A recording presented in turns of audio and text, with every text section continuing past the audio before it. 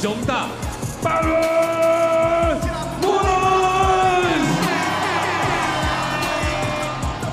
强哦，好像变成这个新北的交通部长，要攻击篮筐啦！三分外线有，不一样的 energy 哦，在低位单打上面又多了一个点，哇，这个推人，成功率啊，是。苏伟这个小球送给熊大，穆伦斯要站上罚球线。在今天这场比赛，难得看他有这样的机会切到篮下，他有哦打了三场比赛，其中两场得分在二十以上。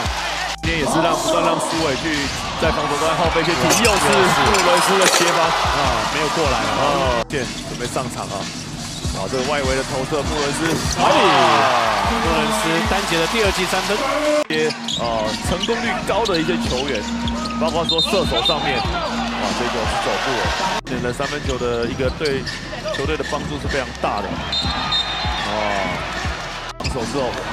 哦，这个转移球非常的漂亮，可是，在传的太深的位置上，穆伦斯干脆不回防了。穆伦斯现在才爬起来，前场五打四，KJ for three，红开。穆伦斯看起来又出现了一些情绪。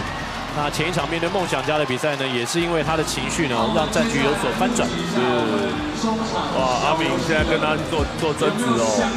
哇，在在穆伦斯身上情绪真的是崩掉了。哇哇，感觉是直接走人了。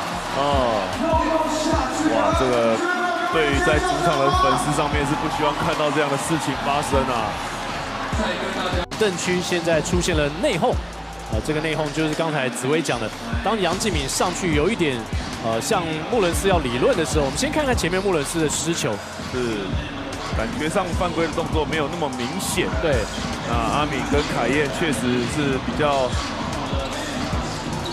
比较激烈哦，没错，两个人都对穆伦斯的。啊，不回防啊，有点不满意。